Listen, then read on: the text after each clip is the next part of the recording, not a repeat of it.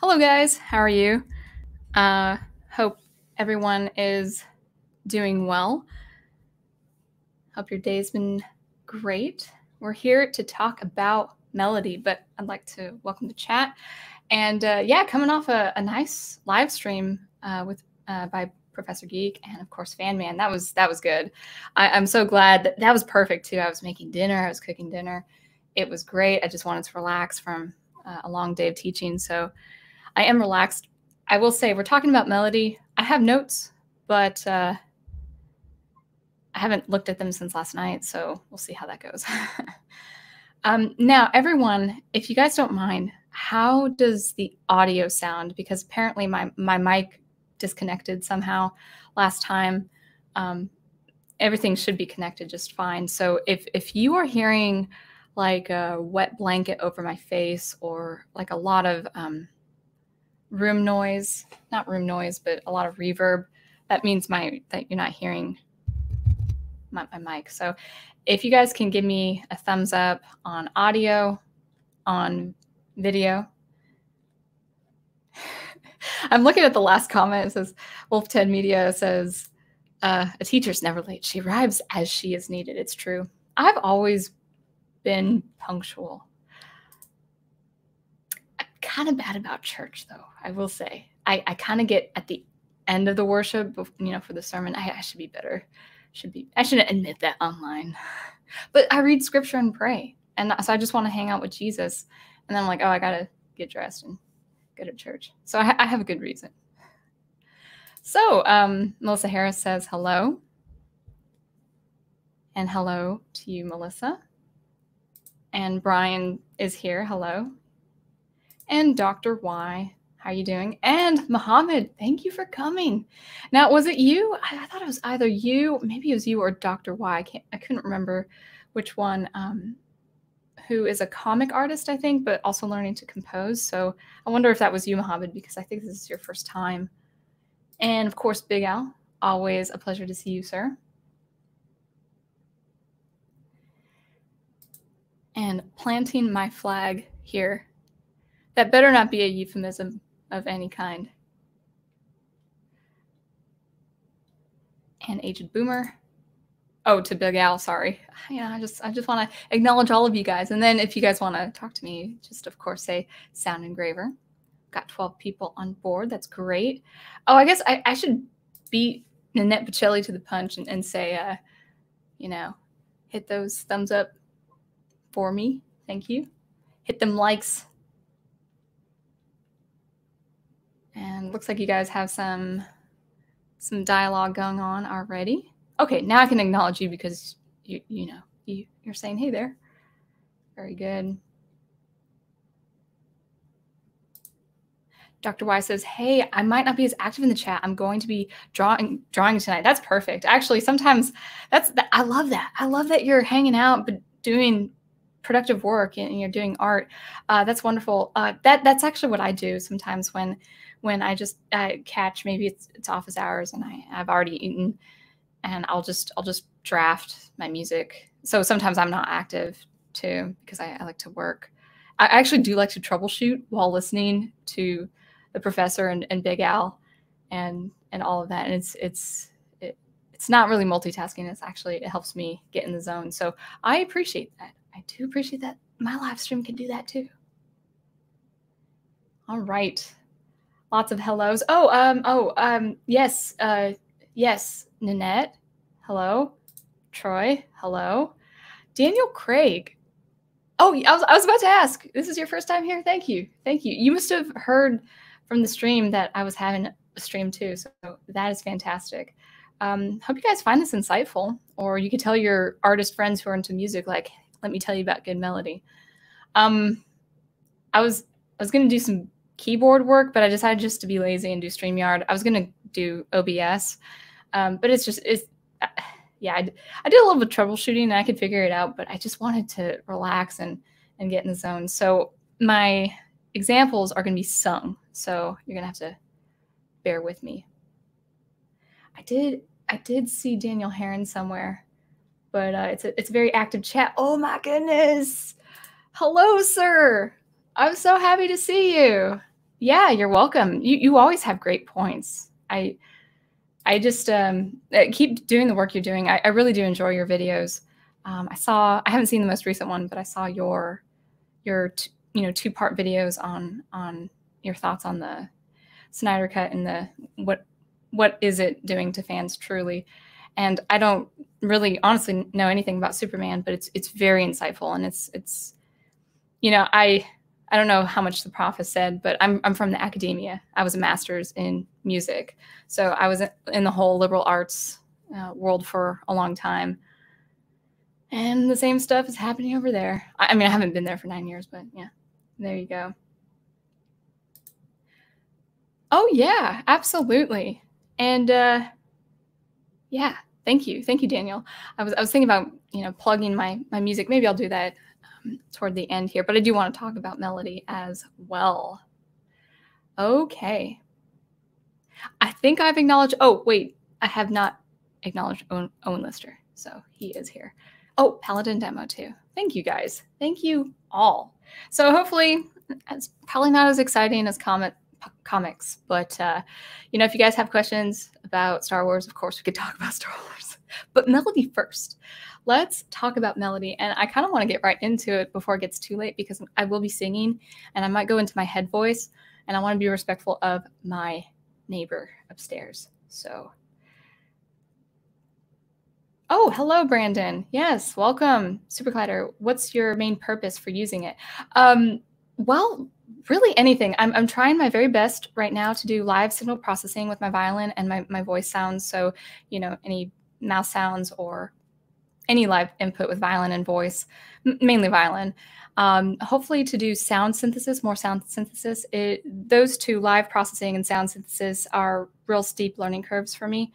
Um, has been for quite some time.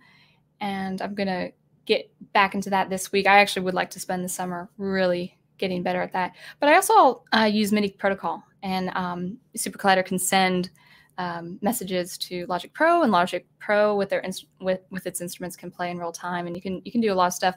I hope to do more live performance, um, maybe at the end of June or maybe into July, but definitely this summer. And I'd I'd love to show you all. So, all right, now I think I've acknowledged everyone. So let's get right to it. Let's talk about melody and, and what to look for in a good melody, whether you're composing or whether you're just listening to music on the radio and you wonder why. You wonder why the melody is so dry. So I think uh, I didn't have any. Hello. Okay, I, I think I hear myself. N- nothing on on audio. It sounds good. Sounds clear. Okay, so I'm gonna leave the chat alone for a little bit, get right into melody. I think the notes are fairly short, but I want to tell you some components, some ingredients that you can use to compose a good melody or look for, you know, what to look for in a good melody. So I'm going to pull up my notes. Yes, I have notes again. And I will have notes for the Star Wars sequel trilogy music score next week. Be on the lookout for that. It's going to be fun. All right.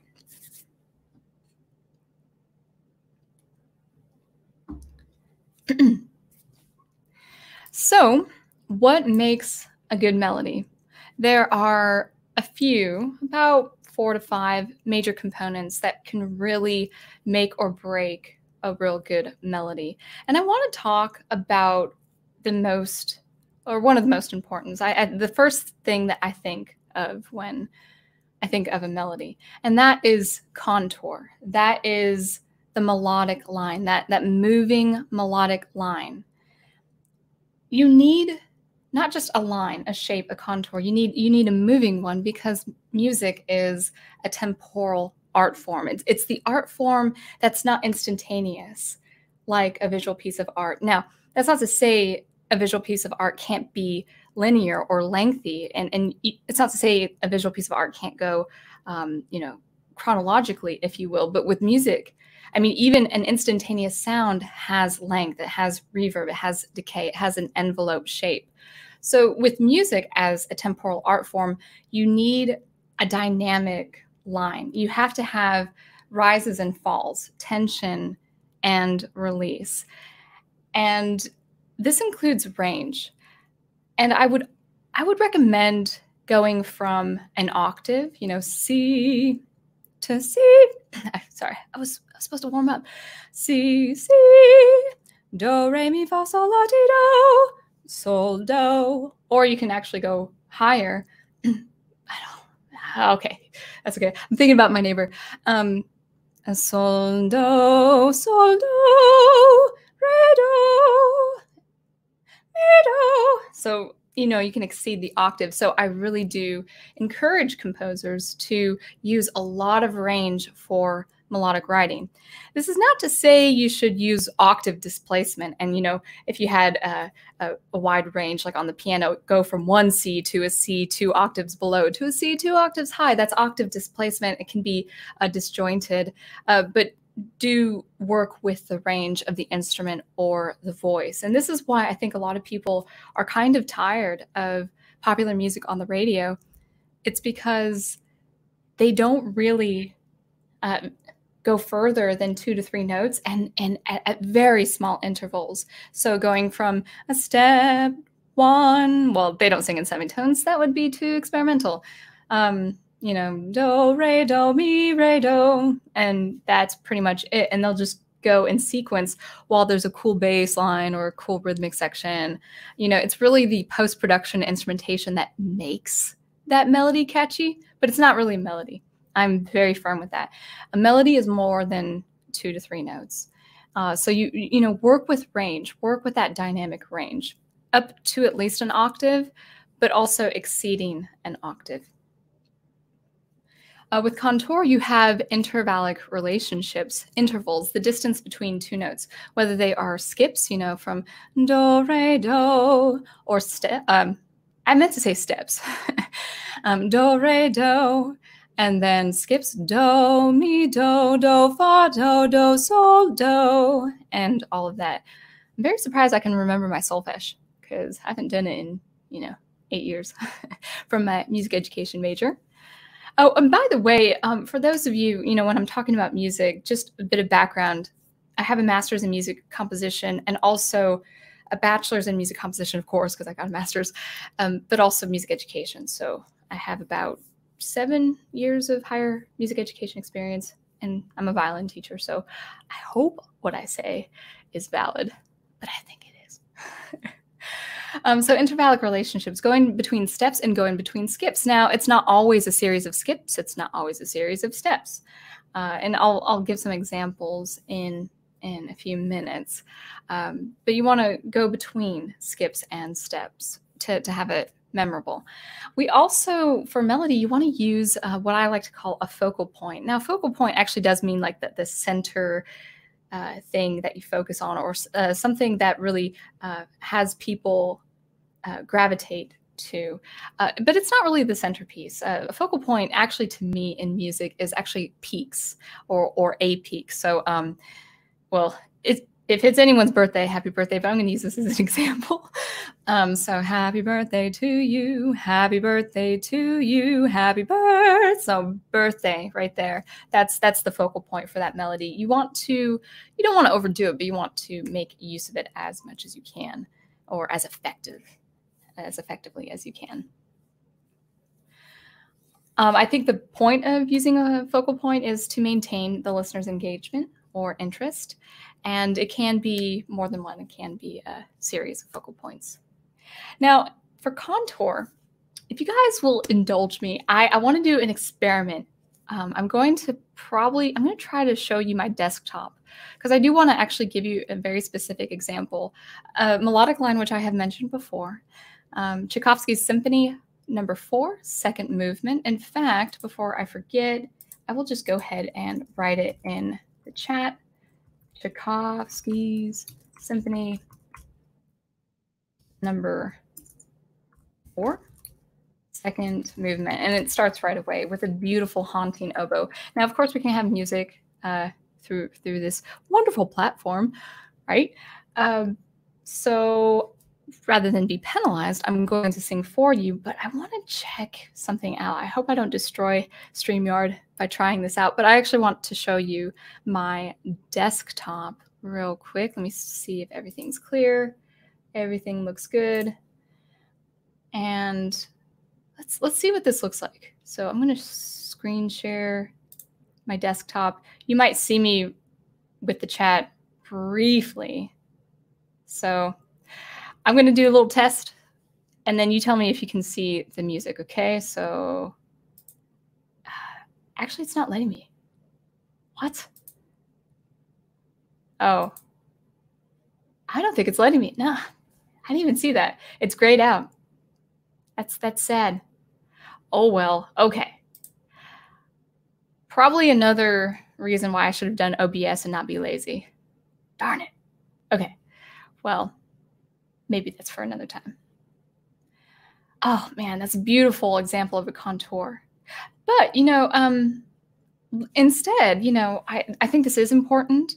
Uh, I'm going to go ahead and and go on YouTube and show you the link to this uh, score, Tchaikovsky's. Um, and as as I do it, I'll just go ahead and you know hum hum the melody. And I had done it last time. And we'll have score. There it is. Yeah. Very quickly. I had to pause it before. Uh, yeah, had to pause it before YouTube could catch me.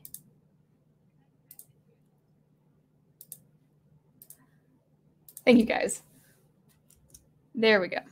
Uh, that's the second movement. I think that's after 18 minutes. So uh, you'll you'll get what I mean. So anyway, sorry for that little diversion.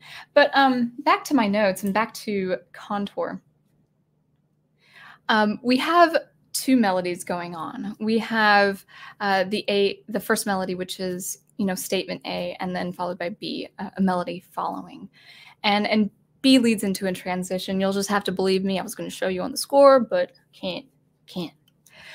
Anyway, um, so for as, as far as contour, I'll do the best I can to sing and then give you kind of a melodic line. Uh, it, it includes steps and skips and also leaps, you know, something that uh, exceeds, um, you know, a fifth. So here it goes. All right.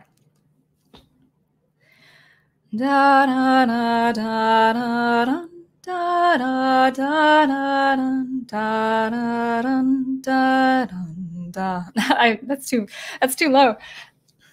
Um, let me try it a higher key. Da da da da da da da da da da da da da da. Can't see myself. Da da da da da da da da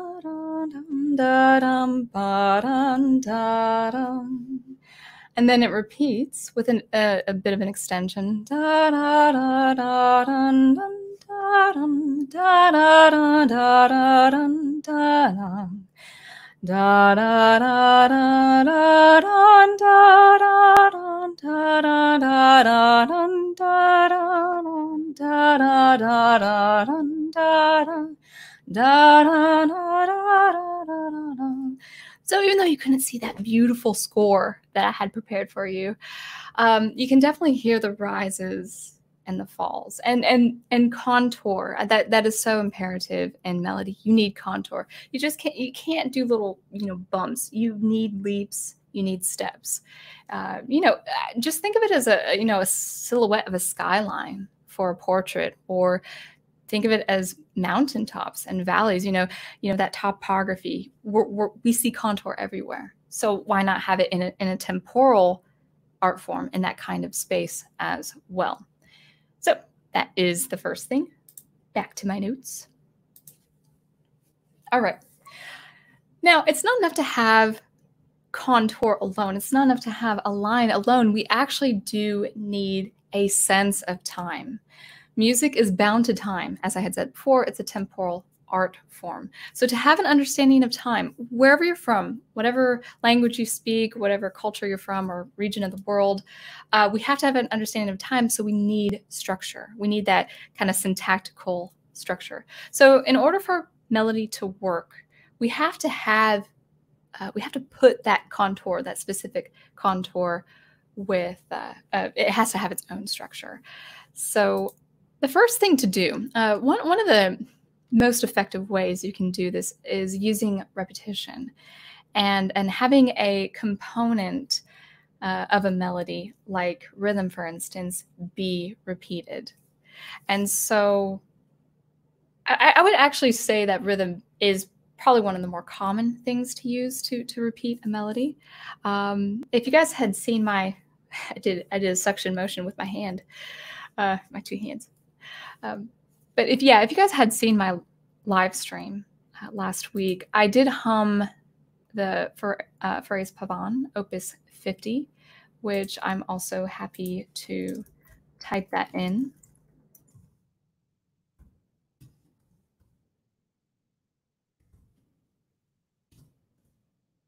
All right. Well, no no complaints about audio, so thank you guys. Anyway, so the Pavane Fauré. Fauré was um, a French composer of uh, late 1800s, getting into the early 1900s, and he is fantastic with harmony. But he also has a very famous melody um, called the Pavane. And I'm gonna, while singing the melody, I'm going to sing it phrase by phrase, and I'm going to try to count out loud so you, you actually hear the counting enunciated as I as I sing. so look for repetition not in the pitches, not in, in the notes that you hear, but the rhythm. One, a two, a three, and four, and one, a three, and four, and one, a three, uh, sorry, three of one, two, three, four. So that's the first phrase. So you think of that one, two, a three, four, a one, and two, and three, four. And then he uses that that rhythmic module and he just bumps it up a pitch to a C sharp. it's so high for my voice.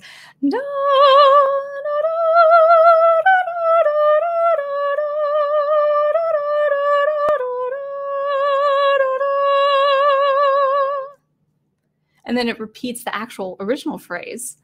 Da, three, four, one, and two, and three, four, one, and two, and three, four, one, two, three, four. And it, it concludes with um, going from F sharp, uh, uh, F sharp to A instead of C sharp. one, two, three and four and one, three and four and one, two, three. I'm, I'm getting count, counting wrong, but uh, I think you get the idea. So repetition in the rhythm, even though the pitches change. However, the intervallic relationships between those pitches, phrase by phrase, uh, remains more or less the same or similar. And speaking of phrasing, let's get into phrasing. So, to get a sense of uh, structure uh, with our contour, use repetition. In, in my case, it was with rhythm, and then with phrasing. Now, phrasing um, is important for melody. We have, you know, kind of like a structure of a sentence where we have a clause and then we have a, a concluding uh, thought or idea, another I think, ending clause. Uh, it's the same way with melody. It's the same way with music. We have what we call a an antecedent and consequent phrase. That's how I was taught. But it's also called the question phrase followed by an answer phrase. And these phrases can range from two to eight bars, maybe more. It depends on two things. It depends on the instrumentation and also depends on the length, the time, um, the the length, the duration of the actual piece. It also can depend on the time the music was written. Uh, for instance, that Tchaikovsky melody that I had sung previously is 20, by, uh, 20 bars long with a, a, first phrase that is eight bars, followed by another phrase with an extension that is 12 bars. You also have things like cadence, where um, every phrase is, is cadential in that it, it concludes, maybe not is, is finished. You know, it's not the end of a sentence. But as we use punctuation in a sentence, like a comma, uh, we have some cadence with our melody as well. I realized I, I needed to get my keyboard. I was like, I have a digital keyboard in my living room, and I didn't think to to bring it until like two minutes in. um, so something that is uh, uh, deals with phrasing, maybe a, a, pretty simple children's song, for instance, can have um, a, a, very even, good balance, a um, something you can comprehend as far as phrasing. My throat's getting dry, so if you'll excuse me, uh, let me grab some water. I think I was I was I was doing online lessons today in the music studio, and I think I was shouting at my iPad because uh, I couldn't hear. So I think my voice is going. Um, but uh, you know, um, a, a, very common way of phrasing is a, is a children's song, like um, the the song "Oh Where Oh Where Has My Little Dog Gone." So if you want to sing with me, go right ahead. You guys should know it, right? Uh, so, "Oh where oh where has my little dog gone?" Yeah, that's the first phrase. Uh, it's actually um, the first half of the first phrase. Oh, where, oh, where can he be? That's the first half. With his ears cut short and his tail cut long. Oh, where, oh, where can he be? So you have those four sentences, and, and it's the two sentences that make up the first phrase and the second two sentences. Or, or I'm sorry, not the first sentence. Where, where has my little dog gone? Yeah, you can say that as a question. Oh, where, oh, where can he be? So that's the end of the first phrase. With his ears cut short and his tail cut long. First half of the second phrase. Oh, where, oh, where can he be? So you really want to consider this phrasing.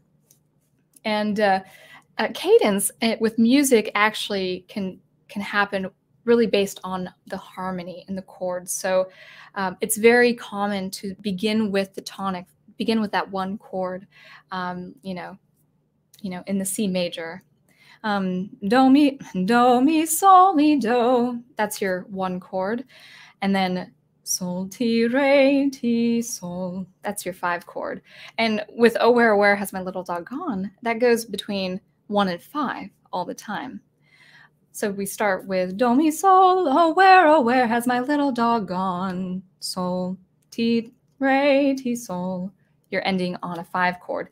Uh, we, we call that as a, um, we call that a half cadence, and that's quite common, not just in classical music. It's it's common in a lot of these songs and popular songs. Um, and actually, with this children's song, it's it's just going between one and five, one and five. It's it's not moving anywhere else. So, so use phrasing, use cadence. And if you want to know the technical term of a, a concluding chord to, to finish the piece, uh, a common cadence to conclude the melody is either the perfect authentic cadence, ending on do in the bass, or the imperfect authentic cadence, which is uh, an inverted chord. I always recommend my composition students to end uh, where, where, where do is seated at the bass. Now, as far as structure, um, I think you can also work with melodies that have little to no repetition. So I was thinking of the uh, the, the song, the Israeli traditional song, Shalom Chavarim. And if I'm botching the Hebrew, I apologize. But this this song actually has no um, no real repetition as far as rhythm, but a little bit of phrasing. Ooh, that was close The water got on my keyboard. Shalom kavarim, shalom kavarim, shalom, shalom, leitrayot, leitrayot, shalom, shalom. So there's a little bit of uh, phrasing because the text is repeated. Shalom chavarim, shalom, shalom chavarim. So so the text is repeated, and so there's repetition there. But as far as the melody is concerned, we have a little bit of that rhythm, shalom, havarim, shalom, and then we we just escalate, uh, not es- escalate, but um, we go higher, and that that's a great use of uh, where the phrasing isn't the same set of pitches followed by the same set of pitches but you know use the same rhythm and but just go higher that's a very effective use of the melody I think I'm almost done with my notes. um, yeah, there. So that is uh, structure. So we talked about contour and putting the contour in structure. All right, real quick, just a few other items, and these are shorter. Length and pacing. Length and pacing is really important. When I was studying contemporary classical music, you know, the, the music of the 20th century, and also my professors uh, at the University of Washington, um, they, they would talk about melody in a, a rather unconventional way. I, I, get what they're saying, but I actually do have a very firm uh, position on what melody is. Melody is more or less pretty short. It, it can have extension, it can, can work with transitions, it can work with a lot of material. But if you write a 20 minute orchestra piece with no theme, with no statement, with no real melody that you can remember, that, that that's that's memorable. Maybe you don't sing it, maybe you can't quite sing it, but as long as it's memorable, you can't have, excuse me, my voice is really going. Probably won't sing anymore. Um, but you can't go uh, with, excuse me, uh, you can't go 20 minutes with a, a, melodic line and call it melody. It could be melodious. It could be at the foreground. It could be in the foreground of, of a piece of music. But if it's not grasped, if you, if you can't really hear it or remember it, um, even, you know, even after, you know, five minutes or so, then I would just safely call it melodic like it's a melodic line. Melodic line and melody actually are two different things in, in my opinion. Melody is a concrete thing you can sing to um, for whatever whatever function it is, maybe or a theme in a, in a film. Melody is, is very specific. It has a very specific de definition. So if you if you just do a, a line that is at the center of uh, the, the piece of music or it's in the foreground, and it goes on for 20 minutes with no real grasp, no real understanding, even if it has contour and even if it has a little bit of structure, but no phrasing, no cadence, none of that kind of syntactical expression, uh, then just just call it, oh, this is a melodic line. But it to me, it's not a melody. My professors, they if they're watching, I don't think they are. Um, they they might strongly uh, disagree with that, but I, I, just I just call it melodic writing. I don't call it an actual melody. So length and pacing is really, really important. Uh, if if under two minutes, both the melody and phrasing should be short, between two and four bars.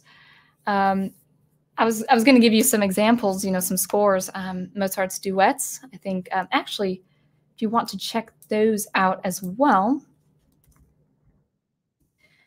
I think I just blew my voice, guys. uh,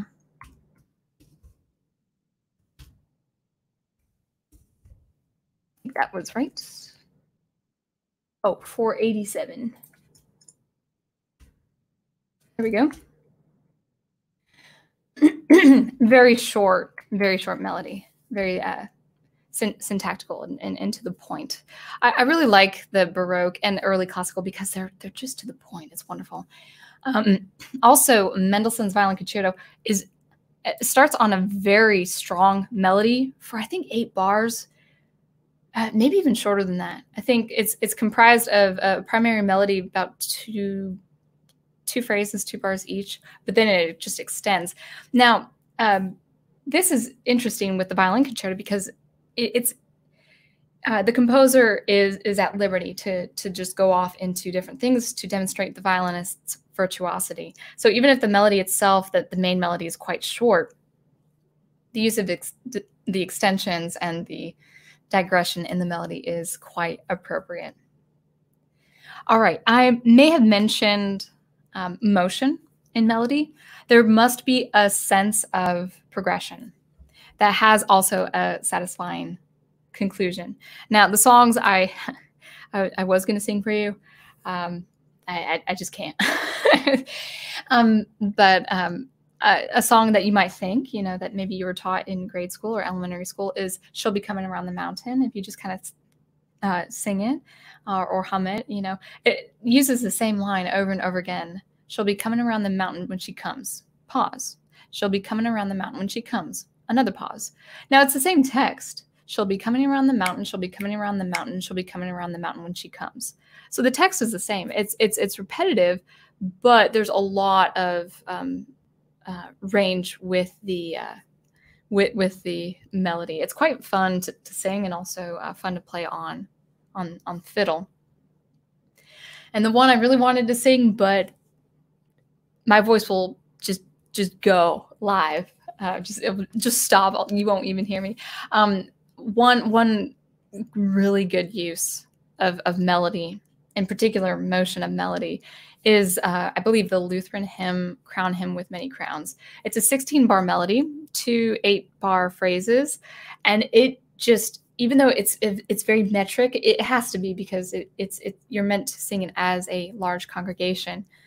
Um, it, it's very metric as far as the rhythm. It's it's very stately, but man, it goes between different chords. Um, you know, the one chord, the five chord, using the half cadence, and um, the line "Awake my soul and sing of Him who died for thee." It goes between a one and a four chord, and then actually uses what we call secondary uh, dominant motion, which actually uses a chord which acts as a representative of another chord leading into another chord. It's it's kind of I, I would have to show you on piano, but what what I'm stressing is that that line, that third line of that that first verse, uh, is packed with some harmonic action.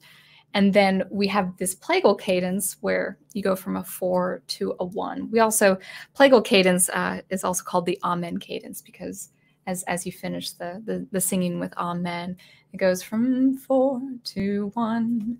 I hear it in my head, probably doesn't make sense to you guys out there.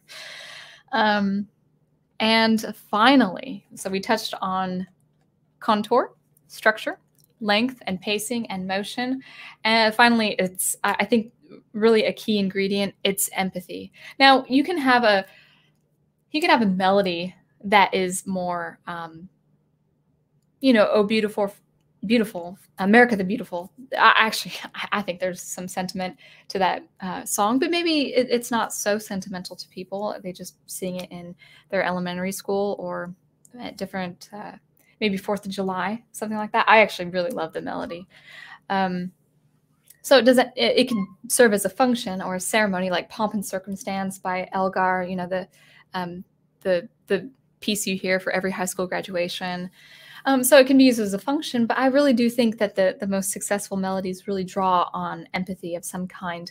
Melody must tell a story. This can be programmatic for an actual story, for a film, for an opera, or it can be absolute, where, where it's just the music itself and you have your own in uh, uh, introspection and also um, your own narrative.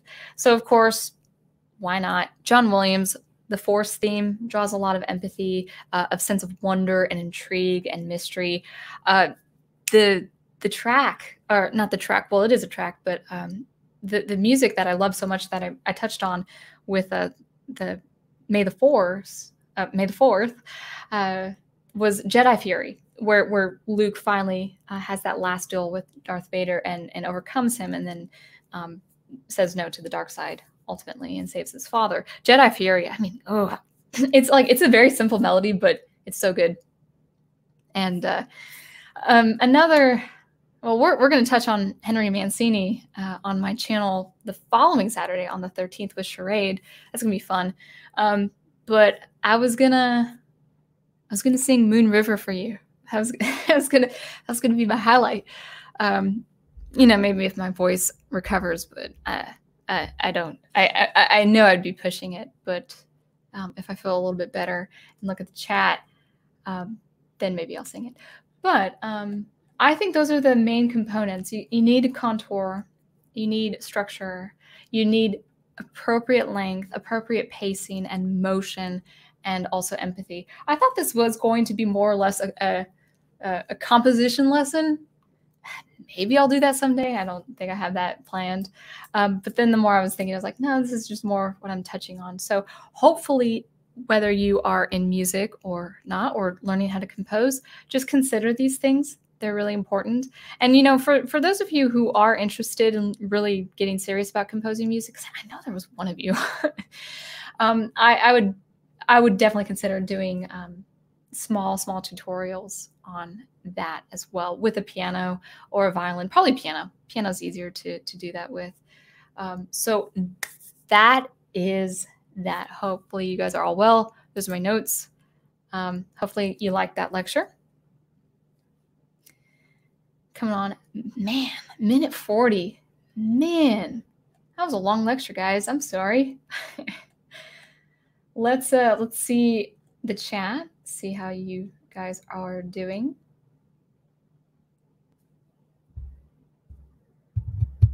I hear my microphone, so that's good.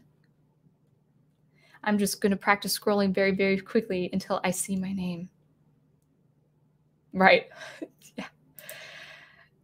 Uh, didn't you do that last time, Big Al? It's true. It is true. Well, Owen, I mean, like, unless you're 11 years old, I, I wouldn't expect you to.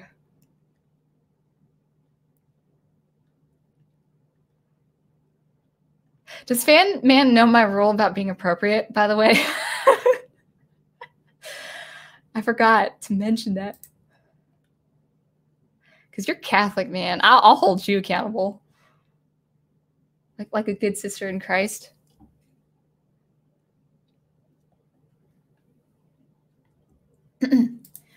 Paladin Demo says, I think I got a melody. It's been a while, so don't judge. John 40? How do you pronounce his last name? Centerfield. By the way, you guys, I'm really thinking about doing this. Um, what say you maybe, I don't know if I could do this every week, but maybe a couple times a month where I'm just live, maybe on a Saturday afternoon, and it's like 30 to 50 minutes, maybe an hour, depending and you guys just recommend me stuff and then i'll have my first impressions because you guys you guys make all these recommendations. I was like i should do this live. But i would be objective. I'd be kind but i would be objective. So centerfield i'll have to remember. Genre? Year? That would help. Yeah good point aged boomer. That is a good good point. It, no it ex- exactly like that like cardi b. Do do do do do do do do don't, don't, don't, don't, do do. It's it's it's nonsense. It's it's like a Dadaism for the 21st century. Yeah, that that's the thing is like they they rely they rely on really good production, post production, and they have it because they have the millions of dollars. But it's like if these people just came to to to, to music producers and uh, people who really knew their stuff about music they'd they'd get their stuff ripped up to shreds, and then they, they'd say you know, they'd show them the door.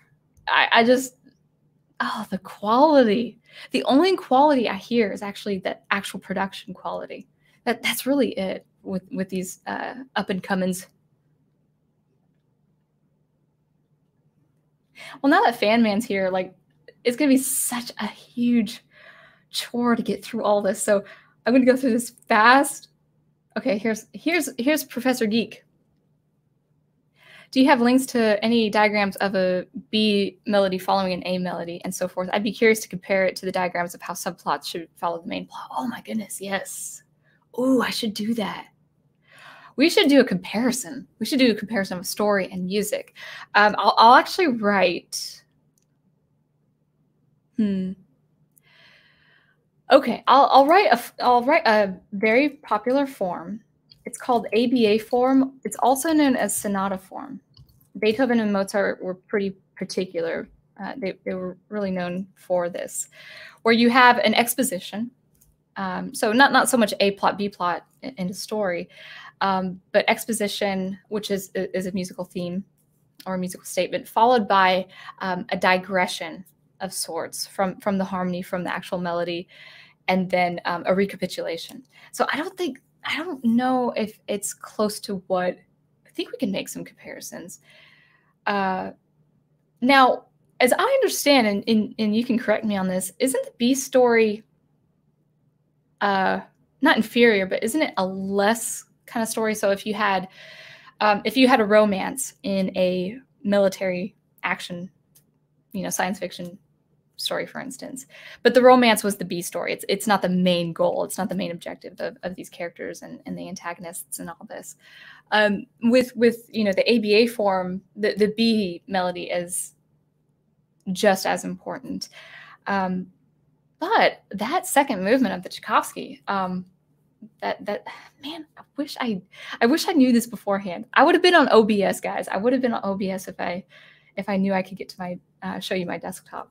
But uh, you know, I'm, I'm doing these live streams for a while, so it's bound to happen.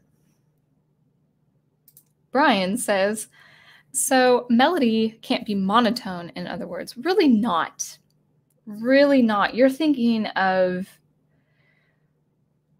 you know, um, recitative in opera. Recitative is a, a technique or form in opera where if it's not a, a, melody uh, or an aria of, uh, of a main character, like a soprano, for instance, they do recitative, which they are singing, but they're singing very uh, swiftly.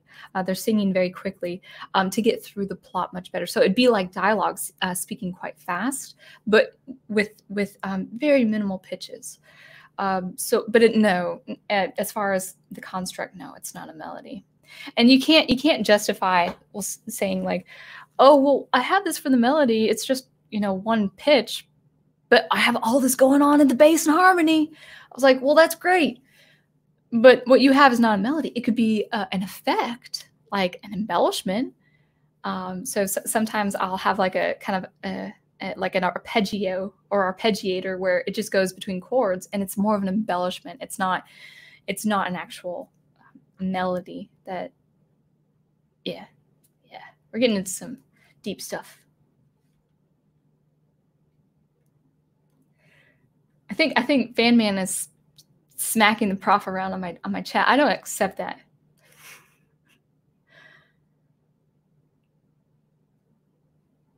Oh, okay. Daniel Craig brings up a good point. That's the precise that's the precise thing I say about any of this modern music out there. Production is great. Yeah, that's the thing.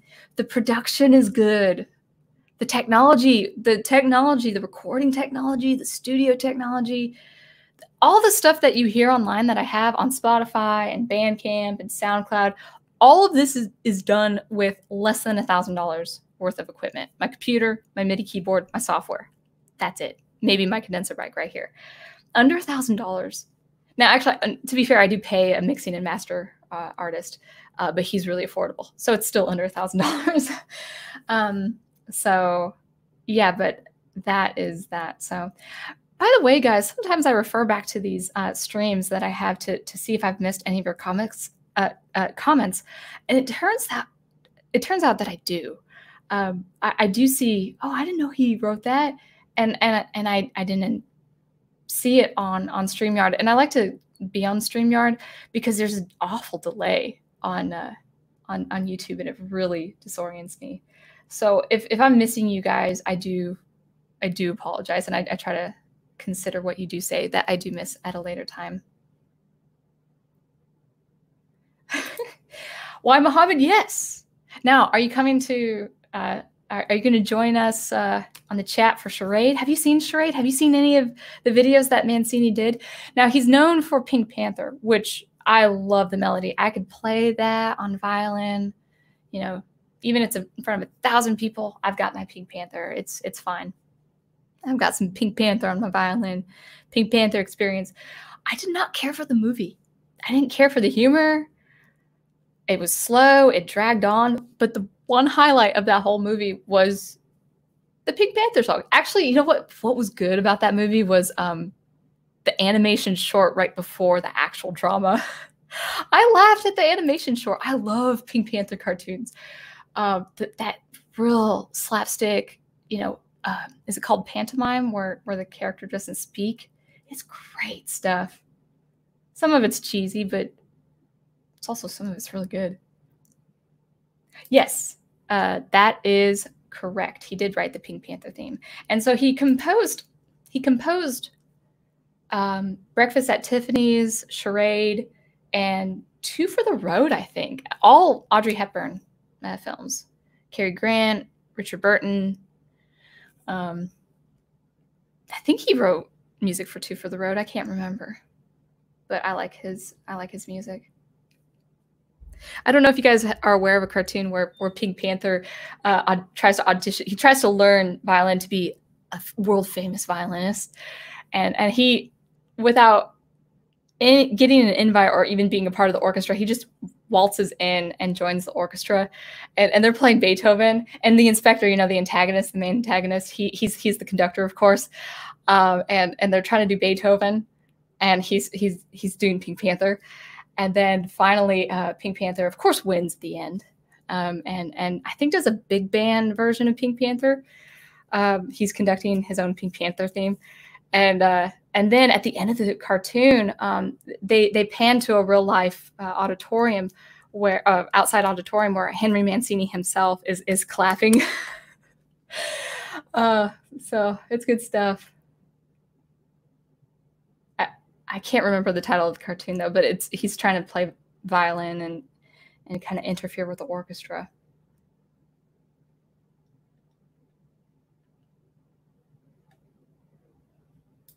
Muhammad says, I don't know how fam- familiar you are in the lore of office hours, but we we ha- have some lack of restraint and inappropriateness.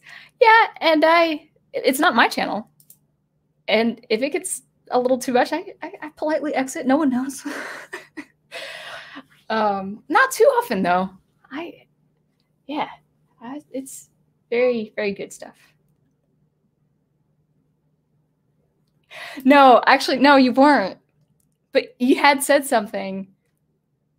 Oh, something like that. Yeah, maybe just a dad joke. No, nothing inappropriate that I saw. I was like, oh wait, I have to. I have to tell all newcomers.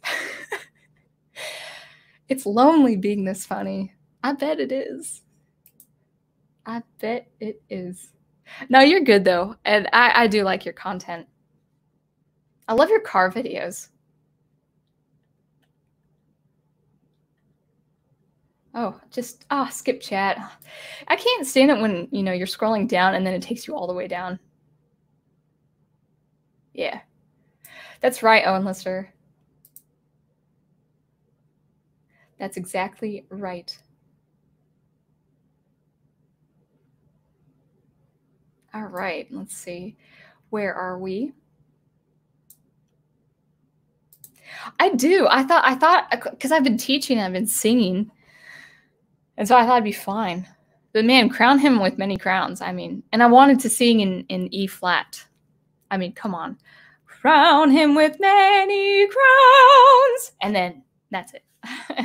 it's so good. It's so good.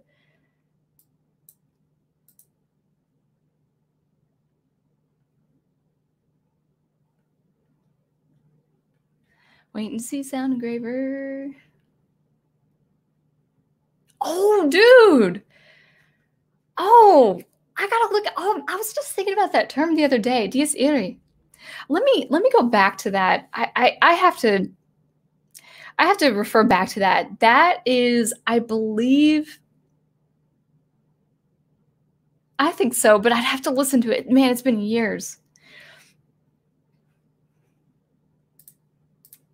Yes, uh, to correct, uh, or not to correct, um, to to add on to that, yes, um, you know, being empathetic to to draw emotion.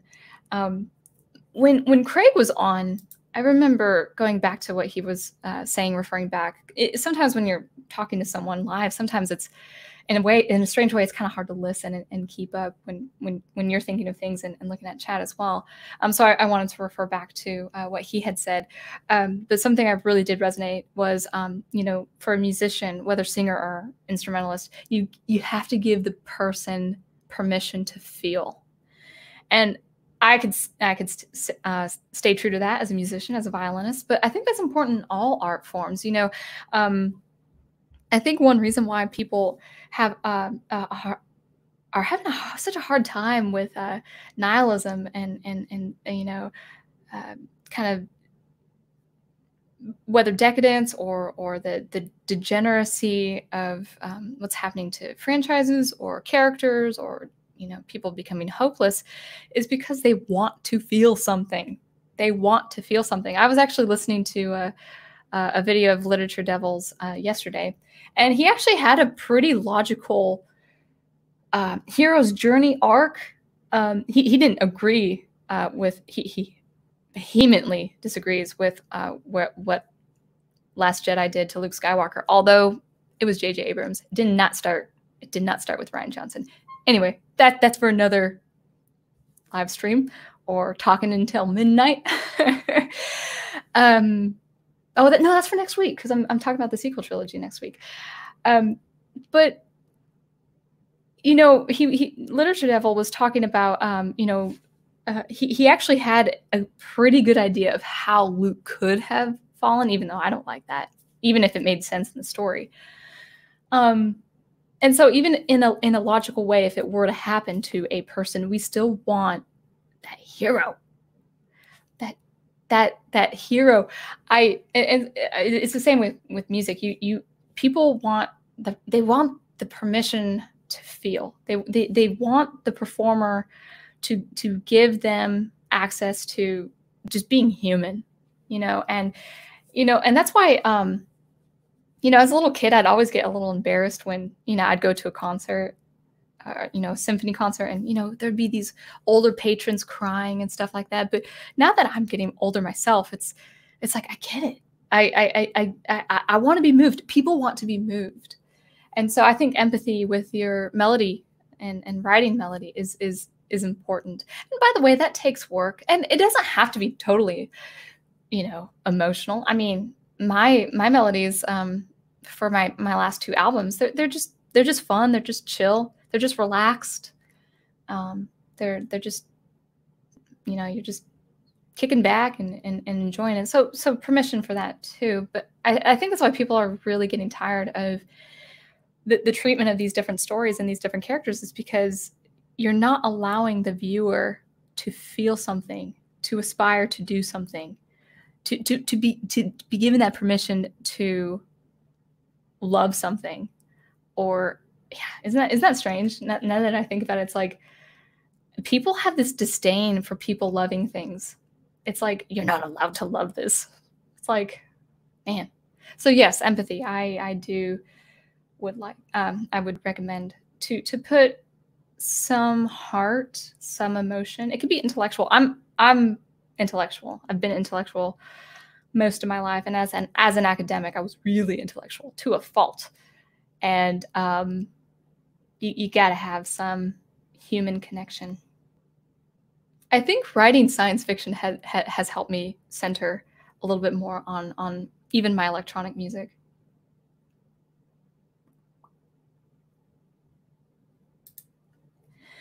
Brian says, now you're making me think of all those battle themes by uh, Nobuo Uematsu, uh, composed for the Final Fantasy games. Oh man, yes.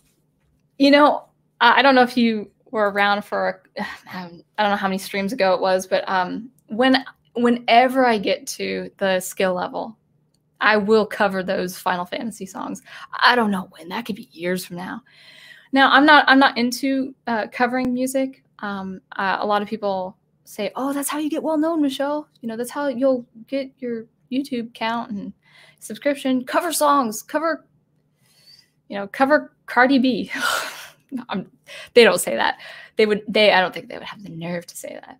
Um, but uh, no, I don't want to cover music.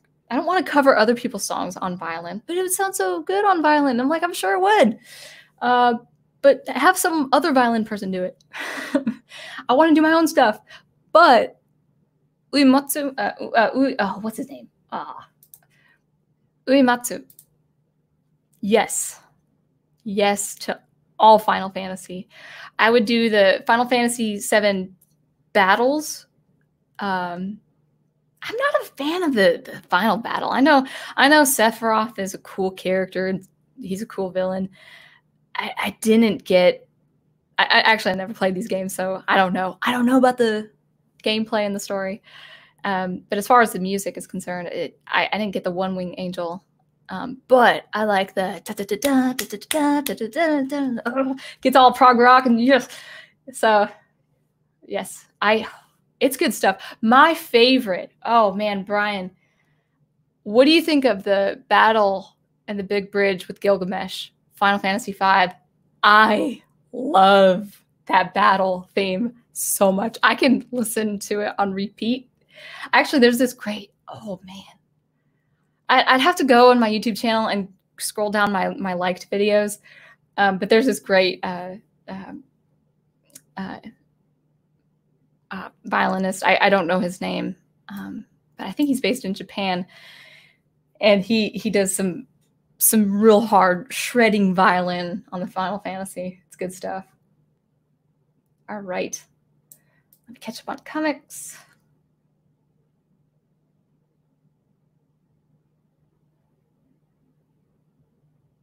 Oh, thank you. Thank you for clarifying, Molten Media. That's great. Yes, Moonlight Sonata is beautiful. I actually, I had a professor in Washington. He lived in a pretty well-to-do area with his wife. He had like, by the time I moved out of Seattle, he had like three large houses. I don't know what went into his head to get another house in Queen Anne. Um, but he needed he and his wife needed space because he was he was a Brahms he was a Brahms uh, he was a scholar on Brahms on Johann Brahms. Um, he was also an archivist, you know, recording all these things uh, regarding Brahms. And his wife was a pianist. Probably still is. They're probably still around. And they had, I think, eight to nine at the time I was there, which was about nine years ago, eight to nine piano replicas of different time periods. And so she played for us Moonlight, Beethoven's Moonlight Sonata on a Beethoven period piano replica. And it is so different from the grand piano. And I was sitting next to the piano, and it, you were transported to something, some fan- fantasy, some maybe art, or things that were inspired by the, the German poetry of the time, or you know, like Goethe and, and or or some painting. It was it was pretty surreal.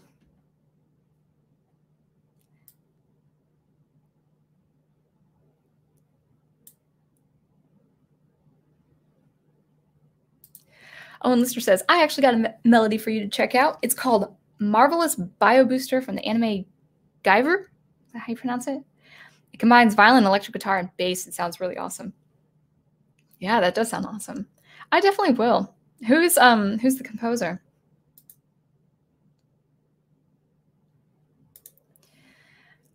Um, Muhammad says, I wanted the melody of my hero theme to be like I dreamed a dream or move into more John Williams fanfare march deal. So how would I do that without ripping it off? Oh, well, yeah, that's that's a good I mean, for a fee, I can tell you. No, just kidding. um look around. Start start with the um, start with the march.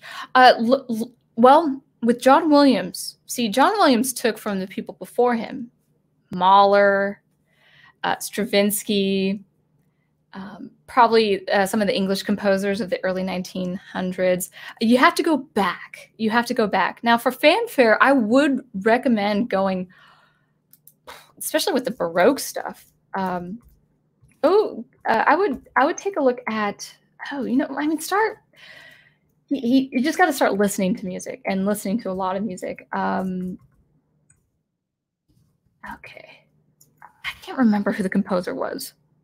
I think his name was Jeremiah Jeremiah Clarke, but I, I don't think that was him. But he was he's he's a good Baroque composer as well. Uh, check out the Baroque period uh, start with that. Start start with Bach. Start with Handel. Um, Handel's uh, Zadok the Priest, um, which I think is actually the England um, sports music. When I found that out, like Cambridge or something, I can't remember. When I found that out, I was kind of jilted. I was like, "That's that's not for England only," and it's it's from Handel. He's he was German. Um, yeah, I'm trying to. I'll, I'll, I'll. I think that's the title of the song. Um, Handel, Corelli and Vivaldi, the older ones, really worked with the stringed instruments. I want I want you to think of organ and brass and and all of that. So, uh, start with the Baroque, and with because it Baroque makes sense to everybody. Stravinsky, maybe not so much. Um, but you know, look to where John Williams looked. You know, look to where he was um, in, inspired because he he did a lot. He did a lot of that stuff. Um, Holst, the planets. The Holst is kind of chewy. Oh, you know what? Oh, dude. Uh, the Tchaikovsky. This is this is a good opening to a symphony. Tchaikovsky Symphony Four. So just you know, just start with that. The first movement. It's got some crazy unified brass, and it's mm, yeah, it's good. I hope I'm not skipping a lot of people. Now, the time I hope to wrap up is 11:30, okay? and you guys could all leave chat. Man, 20 people watching them. I, I feel I feel honored. I hope I made sense.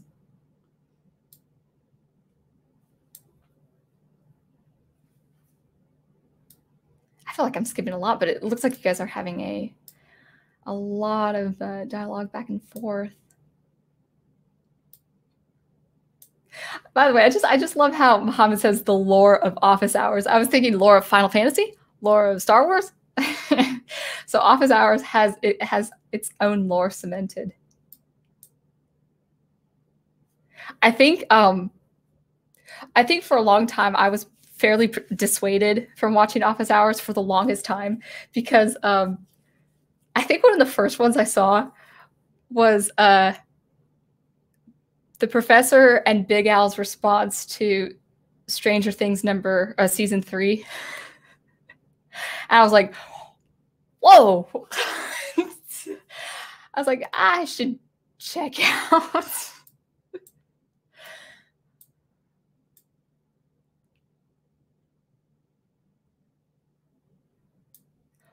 what?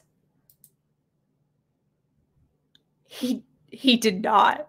That's interesting because if that's the case, great mouse detective. Okay, I had I had three iconic films go like I had three favorite Disney films. Great Mouse Detective was one of them. Yep. Great Mouse. Oh, that's interesting. That's interesting for kind of a British, uh, you know, Victorian setting. That's it. That is interesting. I'll, I'll check that out. I, I, I would have no idea. Uh, Great Mouse Detective. I was obsessed with as a kid, and and then it got to uh, Beauty and the Beast because Belle was my favorite princess. But then it got to Mulan. Mulan. She's not considered a princess, but her that story, whether it's fiction or not, or historically accurate or not, or true to the culture or not. I don't care. It was a good story. um, so yeah, I was obsessed with um, those three films. Great, yeah, great Mouse Detective.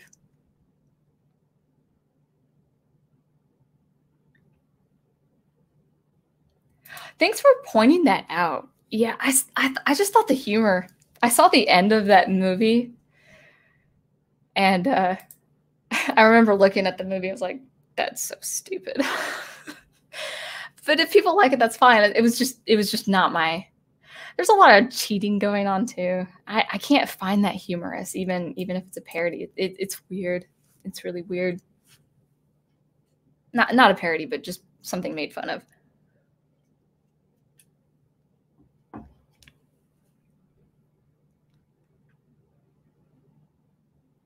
No, no, I haven't. So Owen Lister says, "Did you see the inspector shorts? they're made by the same people who did the Pink Panther shorts. I'll I'll check that out because I think I had like a I think there was one weekend where I was just binging on the Pink Panther cartoons. And uh, I'll, I'll check out the inspector. Now, are, are they as funny? Because I feel like the inspector's only there to be that uh, you know, force, that rival against uh, Pink Panther.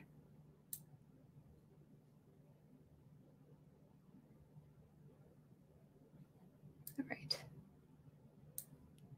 Thank you, Fan Man. You are a natural edu uh, educator. I wish I had you as a music teacher in high school. I sang in choir but flunked music, music, music appreciation in college. The math of music tripped me up. In music, there was math and music appreciation. I, I, I find those those classes quite dry um, because you have to you have to go from the 50 no you have to go from the 1300s to all the way to popular music at least up to the 1980s maybe 1970s and that's a lot to cover um, in, in a semester. Thank you though. I appreciate that. Coming from you actually because you're you're a bit of an educator yourself so that means a lot to me Dr. Y says Mancini also did the soundtrack for the Glenn Miller story, The Great Race, and Condorman. Or Con- am I? Did I say that right? Looks familiar. Really? I you know I need to see those movies. I haven't seen those movies. Um, Dies Irae, Irae, Irae. Sometimes I Dies Dies Irae I don't think I'm pronouncing that right. Uh, through the Mad Max Fury Road. Interesting. Oh, interesting. Nice. yeah. I have to look at these again. Mm-hmm. Yeah, Latin, when you know it, is is really uh, beautiful to sing.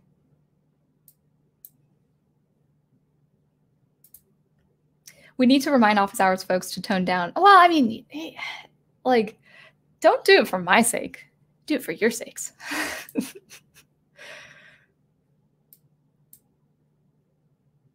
But I think it was um I think it was Mr. Matchstick that mentioned like he's he's one way on one channel, another way on another channel, and he I think he was I can't remember the word he used for my channel, but I mean I, I appreciate that.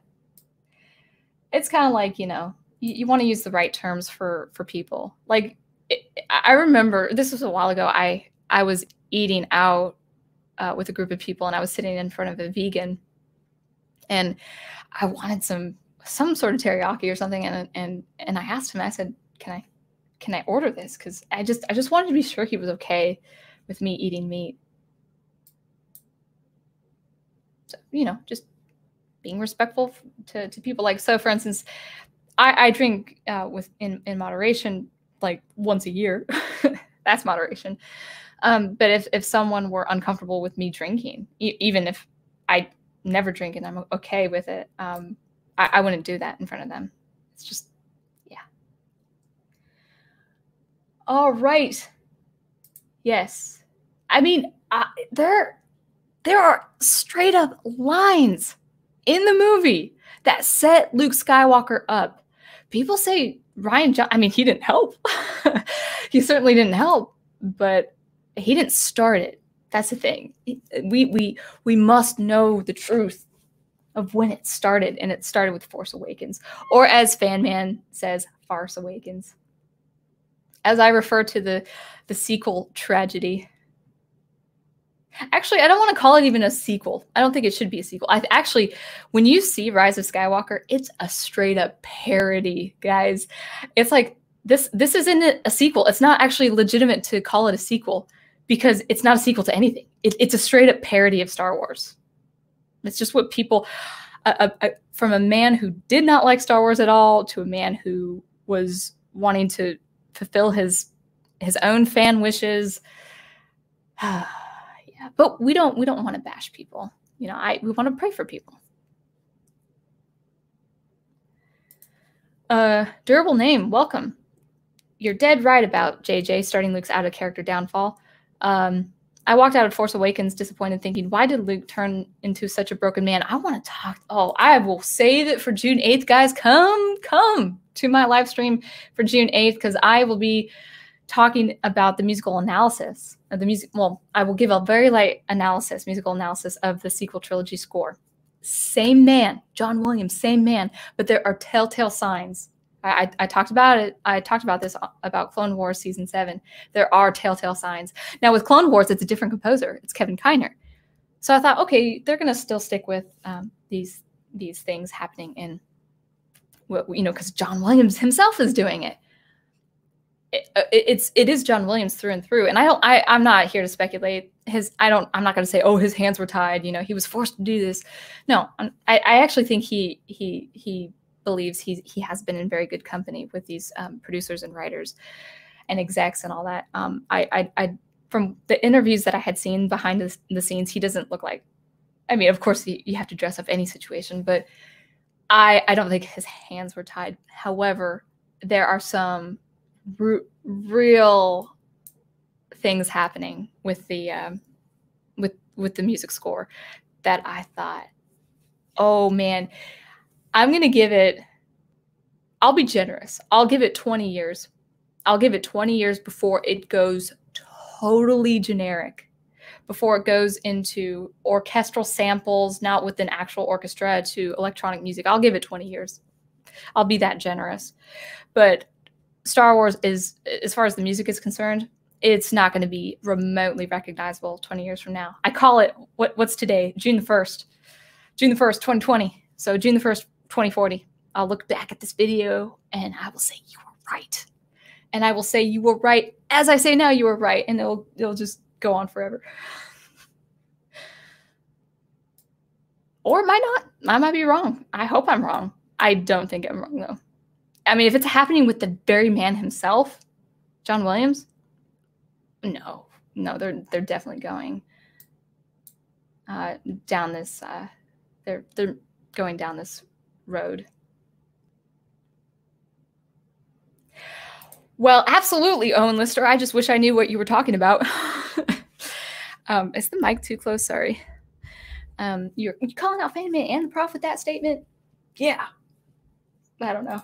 You'll have to talk to the past me of that. Muhammad says, Can you review and analyze music and show how to get the same effects without stealing? Oh, man, oh, this is like a separate live stream. This is a separate topic. You guys are, you and Aged Boomer give me great ideas for, for topics. Um,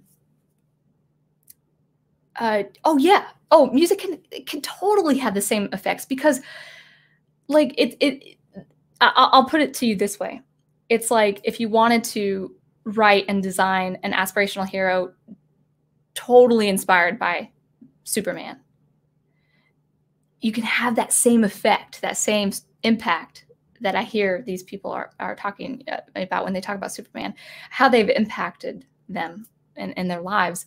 You can have the exact same effect. It, it's, it's, it's the exact same meaning. It, there are universal truths, so to speak, with with music. Don't ever feel like you're stealing you know, we get these crazy lawsuits, these music lawsuits like, you took my bass line. I got to take you to court. Like, you don't own a bass line, bro. Just, it's like, the ridiculousness of these lawsuits and you know the jury they're they're not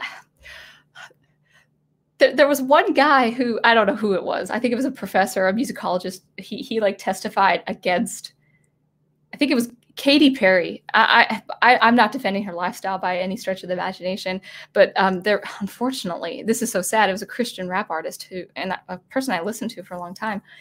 Uh, he, he he took her to court over this ostinato, this bass, this little bass line. That's it, guys. She didn't even use the same instrument. She didn't use the same register. You know, her uh, his his his line was high hers was a bass. Her, her as like, and then this musicologist thought like this. See, with musicologists, they can get really theoretical. Like, well, let me see, you know, that could could imply this and and this and this. I'm like, bro, it's six or seven notes.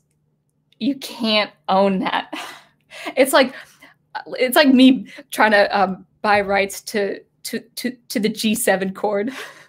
like that's mine. it's it's ridiculous. Now I, am not I'm not making fun of actually what you're what you're pointing out, Mohammed. Um, I would not be scared of co- just compose, compose, compose. People say, "Oh, we steal all the time." That's actually not true. It's it's it's just we take from what we are influenced by all the time. Uh, there is very little that you can do. I mean, it, unless it's straight up the same melody of Luke Skywalker's theme, sure, that, that's a bit of a stretch. And no, you couldn't get away with that, especially with Disney on your tail. um, but I, I would, I would just uh, work on just uh, composing and, and rehashing the melody, doing it in different ways, maybe on a piano one day, maybe on a different instrument or electronic instrument another day. Um, you would have to go, like the odds of you legitimately copying someone uh, I, would say are just it's just highly highly unlikely. So yeah i would just i would just keep composing. And and then then you can think oh it does it does sound like that melody a little too much. Then then do another thing. All right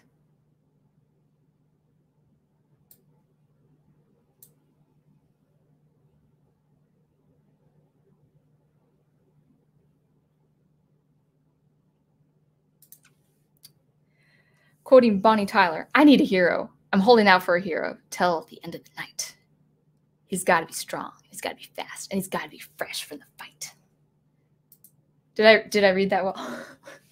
yeah, that's a good quote. That is a good quote. Yeah, yeah, love the big. It's it's it's one of the best.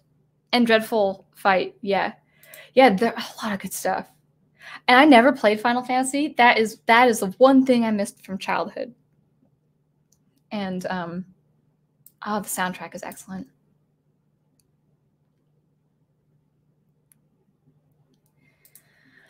Professor Geek says Stephen King, who wrote fiction, is the truth inside.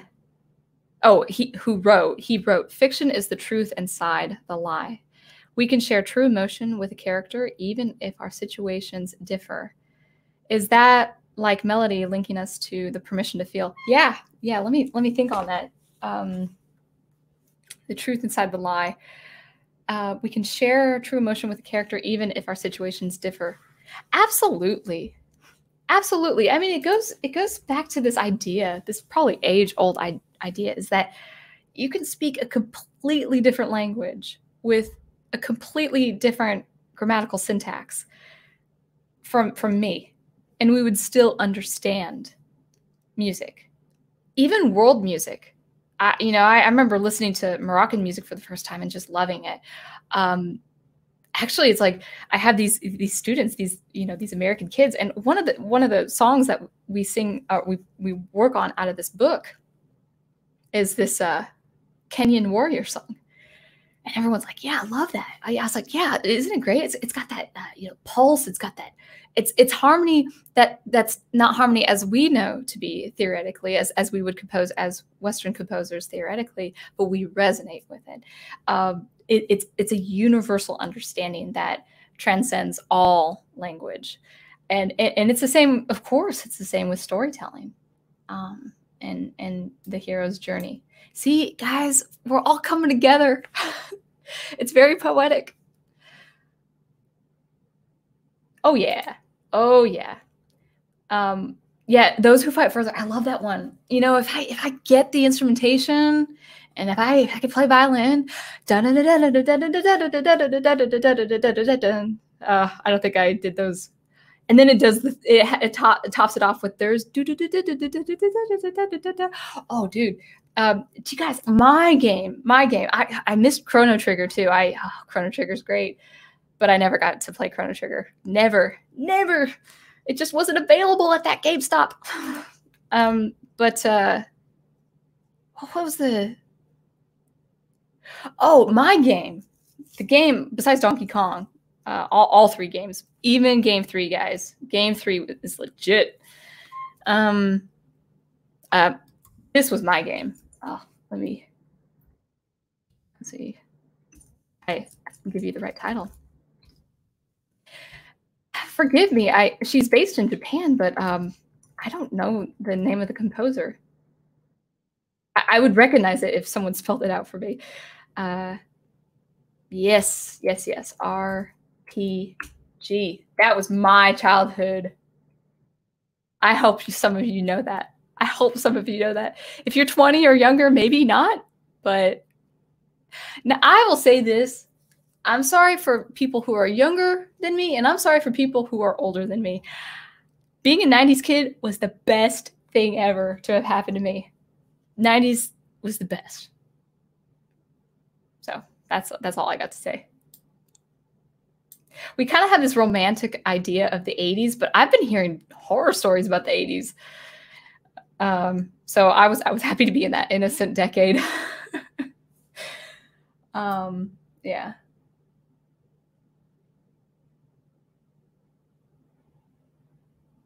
Yeah, this is true. This is this is worth uh, saying. Zahn's trilogy remains the sequel trilogy. Yeah, we should just call the the new movies a parody. It's not a sequel to anything. It's just it's man, Rise of I, like you you have to actually abandon all emotion, all visceral emotion, and just straight up laugh. It's like you guys can't be serious. Like when you look when you you look at the the the, the scenes, and I only watched the sequel trilogy to do a music analysis for you. um, but when you look at the sequel, especially at the last installment, it's like were these these writers were joking the whole time. They they they they're about gotcha the whole they're they're waiting to to they're gonna they're on the 50th anniversary of Star Wars, they're gonna say to us to our face, of course they're not, but they're gonna say to us, guys, this was all a joke. It was all a joke. Now it's not funny. It's not a good joke because it's it's got a lot of people mad and and I'm I'm not visceral, I'm not emotionally mad because I, I just I don't consider it Star Wars. It's it's it's fan fiction. It's not Star Wars. Uh, I, I it bothers me, guys. Like I understand, I understand um, the professor's grief when when we do see the deconstruction of our beloved heroes, and that needs to be addressed and that needs to be talked about. But I I don't understand the grief, and, and maybe you you guys have this grief, and I I, want to be uh, sympathetic as as best as I can. But I, I want to encourage you: don't be saddened. You know, when you watch the the the sixth episode that's Luke Skywalker's hero's journey, and it finished there. It finished there. Don't like I, I see so many people, or I had, especially with the Last Jedi and, and looking at YouTube and all that. I had seen so many people say, "I can't see the sixth episode without feeling so sad where he's going to to become." I'm like, that's he's not going to become. He's not. That's not Luke. That is not Luke. I will give you my full hundred percent affirmation that's not Luke Skywalker. Or confirmation. I don't think I used the word affirmation correctly. You could correct me on that, uh, fan man. Correct my English because sometimes I say the words wrong. But 100%, that's not Luke Skywalker. That's Jake Skywalker. That, that is that is the parody of someone pulling a cruel practical joke. So I hope that helped you guys.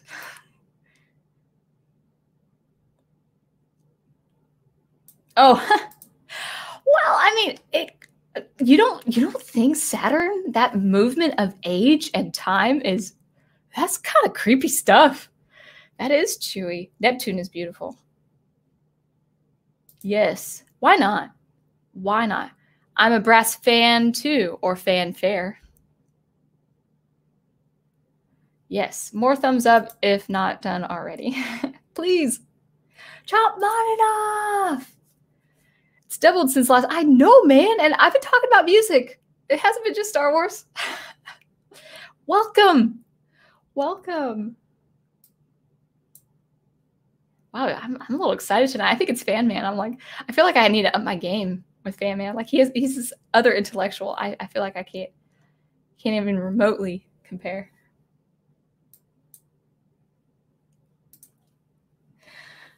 Troy, nice to see you comment uh, every office hours you join, I wonder how you haven't run screaming. I don't scream. See, I'm not visceral. I don't. I. I don't condemn. I don't respond. I just pray. that being said, I think you tend to elevate the stream uh, just by being there. Oh, thank you. I appreciate that. I hope so. I don't want to be some like, like nun, like overbearing and overbearing nun. You know, looking over your shoulder. That's not. That's not that. I hope I don't give that impression. not, not, not dissing on nuns either. They, they do good work.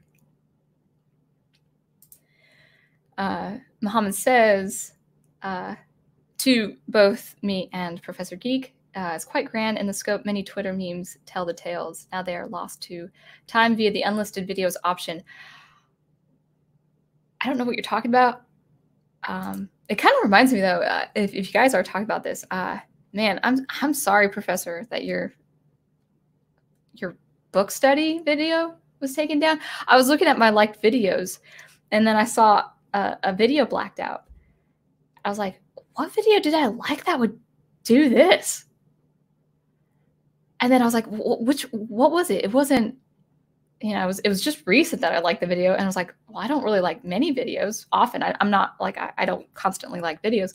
I was like, was that the book study? I was like, that's weird. Uh, now I, I didn't, and I'm sad because I I didn't read chapters 19 and 20 at the time, so I wanted to hear what you guys had to say. So I guess I'll never never hear it. Uh, but that's that's really strange. I don't approve.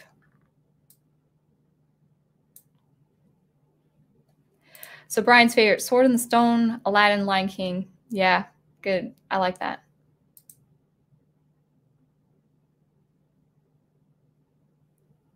I rented the original Pink Panther. Yeah, it's it's kind of I like the set pieces and and all that. That's, it's kind of nice, but it, it's uh, very strange. And the the beautiful princess, she she had a lot of good lines, and she had, she had kind of a, a serious air about her that just didn't fit. It just felt weird. Oh, by the way, um, Big Al, I, I, saw I saw your Twitter on um, on uh, your tweet on on your um, review of Scoob. Can you do like a YouTube video? Just no spoilers. I probably won't watch it anyway.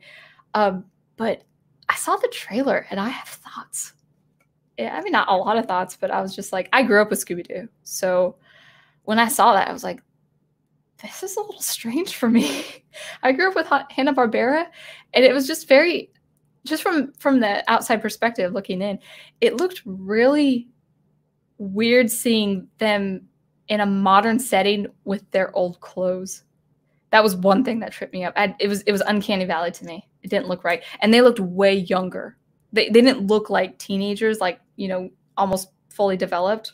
Now I watched them as as a kid, so teenagers, of course, even animated ones looked um, fully developed as adults, but uh, Daphne, she looked like she was like nine, and they're driving a mis- mystery van or something, um, mystery machine. I was like, this this this doesn't look right to me, but uh, that's because I grew up with Scooby Doo, so maybe I can't change. I don't know.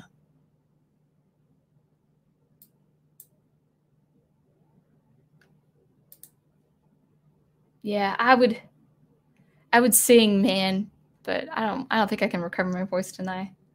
But that was that was that's a that's a high that's a high song to sing. I like um what song do I like? Just be a man. Come on. that that's the best. I'm never gonna catch my breath.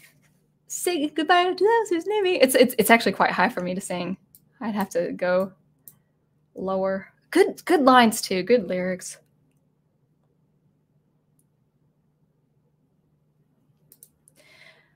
Uh, the Inspector shorts are more dialogue driven, like Looney Tunes. Oh, that's interesting. So it's more witty compared to the more slap slapstick style of Pink Panther. Man, I love slapstick style done right.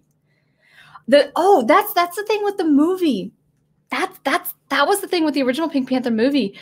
Um, the slapstick wasn't good. There were there were some moments. There were I laughed maybe three times in that film. Some of it was good. Some of it was just over the top, like really, like I, I was expecting that was going to happen, or really the character that it, like it, it, there was one moment where you, you could tell the actor was told to do it. it was like there was no reason for the character to have accidentally done that. Um, so slapstick humor done right is really good, and the animated shorts are good. The animated short before the actual drama was hilarious.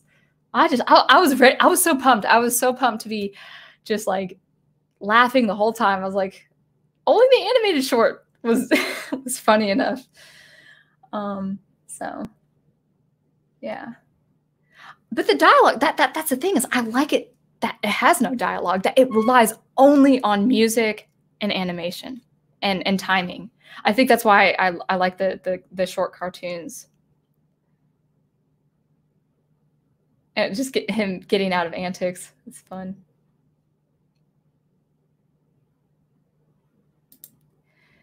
I'm reminded of Danny Glover's lines from Angels in the Outfield. I, I can't do his voice because it's probably been 20 years. Let's keep the profanity down. I made it. No swearing. I'm sure that was the worst impression because I don't know what it sounds like. Uh, wow, it's 11:20. Okay, if I catch up with chat, guys, I, I will I will call the shots. I will I will I will wrap it up. Fan man, go go to bed because I don't know if Big Al or the Prophet told you, but I'm really bad at closing my uh, live streams. So I try to catch up with chat, make sure everyone has been heard and said and read and all that. But uh, yeah. Daniel Craig says Rian Johnson ruined it in a different way. He gave oh yeah. Yeah, he did. He um to all of JJ's worthless mystery boxes. That was JJ's problem, the, the mystery boxes. And then he turned the fans and gave the middle finger to the mythos. It's really weird. Now here's the thing. I have insight about this whole thing because I was in the academia. I was in the liberal arts academia for probably good eight years straight. And thankfully, I was naive not to pick up on these these nihilistic ideologue cues.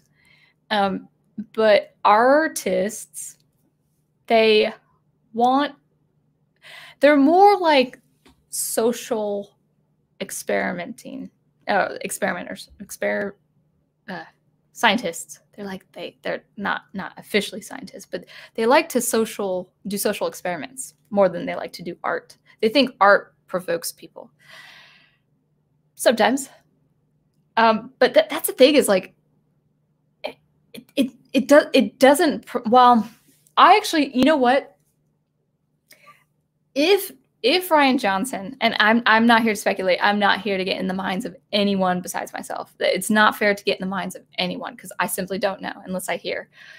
But it, if he had come from that kind of education, um, and if if he's in Hollywood, that that still continues, that mindset. But if he has, if he had come from that artistic academia um, background, that whole social experiment of totally flipping like topsy turvy, just a 180 on on a 40 year story. Um, just to do a social experiment. If if that was a motive, that would not surprise me in the least, because a lot of people in those circles tried to do that, and they try to do it often. Now, that's not to say he did that intentionally, but if that were the case, I would not be surprised.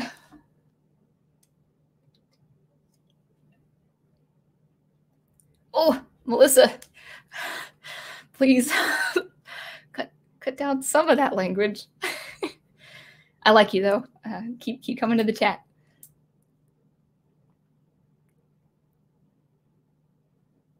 Uh,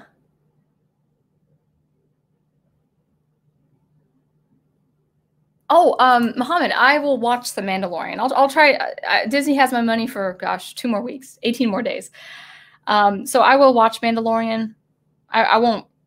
I won't stick around for season two, especially if they introduce Ahsoka. Um, uh, yeah, I think a lot of the music goes for Williams and and kind kind of gives up. I'll look into that. I I would love your take. I would um, be happy to give you mine.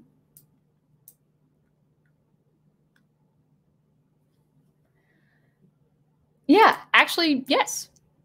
Um, leitmotifs. Uh, he actually Williams, at least for um, Star Wars, didn't really work in leitmotifs. Maybe a little bit. Um, in fact, I don't want to go too much into what I want to say next year, uh, next week, but uh, uh, he he actually does a little more motivic writing uh, in the sequel trilogy, and actually that that's actually a problem. He works in themes. Leitmotif is is is a motive um, that that that comes in and out or builds up. So you know Beethoven's da da da da da da da da. That's that's a little motive that Beethoven uses to expand the rest of the first movement of that Symphony Number Five. Um, I don't think he uses leitmotifs in Star Wars, but he does with a certain character in The Force Awakens. So I will talk to you guys about that next week. I hope to have time to do another commentary video like I did uh, for for Clone Wars.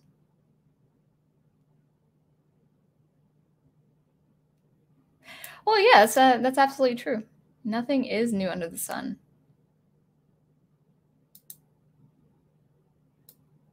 And now you guys are, are, are labeling themes from Final Fantasy characters. Yeah, I don't know them though. I only I I, I well, Tifa's theme is kind of coming to me.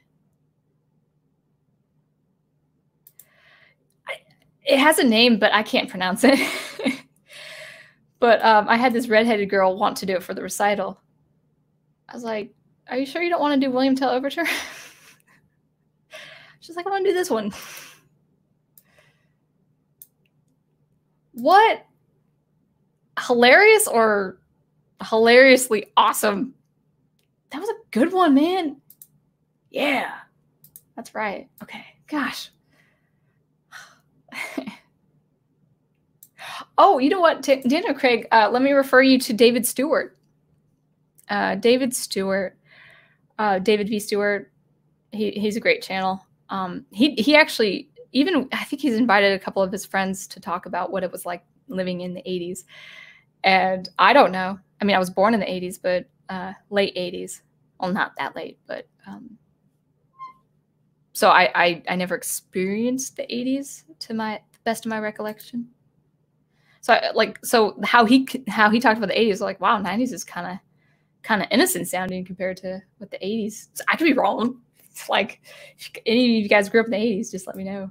And and by grow up, I mean like you were kids from like four to 17 or something.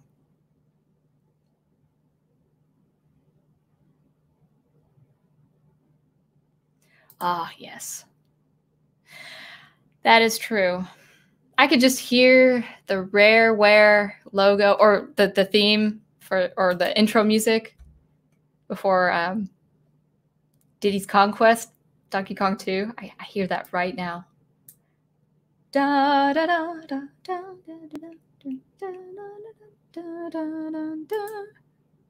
I understand you calling it fan fiction, but it's not written by fans. Um, well, I mean, no, it's not written by sincere fans, I don't think. But um, but I think though, well, but but fan fiction out there can be bad too, right? It can be misleading or off. You know, I'm not saying all fan fiction. I, I've never read fan fiction. I'm sure some of it's great, um, but I'm, I'm sure a lot of fans have written terrible pieces of uh, fan fiction. So it's kind of like that. Um, see, the thing is with J.J. Abrams, and actually, I got this idea. I could, I could be wrong. I could be wrong about this, but uh, David Stewart talked about um, how Rey's kind of like this wish fulfillment of like, if you were put in the Star Wars universe, you'd want to meet all these cool characters, and you what you would want all these characters to like you. I mean, I thought of that as a kid. Like I would think of my favorite world, like maybe I was part of the Scooby Doo gang and everyone loved me. I mean, I would have been a Mary Sue for the Scooby Doo gang. Um, so I think that is an, an, example. I'm not saying it's written by a, a true fan or um, you know a fan who respects the work. Um, I'm just I, I, I could I think I, I'm safe to call it a terrible piece of fan fiction. Maybe maybe J.J. Abrams thinks he's a fan. I'm not going to question that. I might not agree with him, but you know I'm I'm certainly not going to question if he does think that that it, it's not in any way inauthentic. Um, I I would so so yeah, not not fans, but but I, I, I would also say that fan fiction out there can be kind of uh, also. But what do I know? I probably should read fan fiction before I actually. I should probably be a fan of something first and then read it, and then.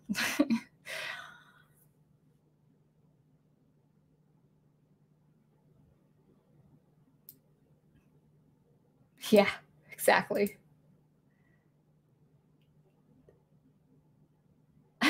you guys are starting these hashtags.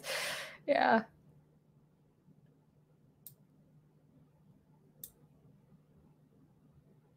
Oh, it's that guy. Welcome. I'm very sorry to hear that. Yeah, I, I, I wish the, the best for people. I really do. I don't I don't want anything bad to happen to him or or anything. I I mean, I just I, I know the mindset of a lot of these academics and, and these people because the mindset of Hollywood is exactly the mindset it has been it has been with academics. It's they're just on a huge famous platform, and so I just, I would not be surprised. Uh, yeah, welcome. Uh, where are you? I've, I've, I, oh, it's that guy. Okay, welcome. Thank you for coming. And I'll probably wrap it up. It's it's it's eleven thirty. Um, so.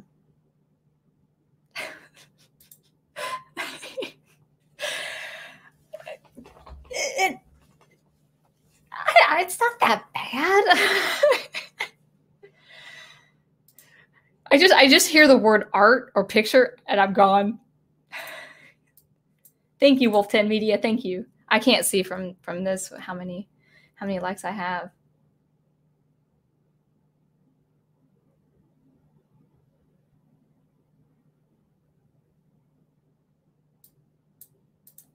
Oh, I, I know what you meant. Yeah, for sure. Big Al presents. Okay, am I close to the end of the chat? Oh my goodness, I'm 15 minutes behind the chat.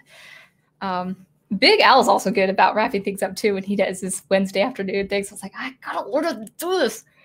Um, the sequel trilogy will be lost in cinematic history. I think so, uh, and be a sad footnote in a decade or so. Real fans will keep Star Wars alive until then, and I think so. I think so. I don't think that's the thing is I don't think Luke's Luke Skywalker's memory will will go. I think, if anything, I think people.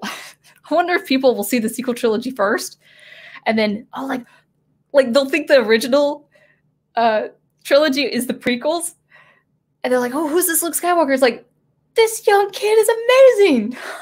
Why does he become this deadbeat? I think that's what's going to happen. It's going to be like a decade of reading, uh, seeing the films in all the wrong order, and then deciding for yourselves uh, what, what is good.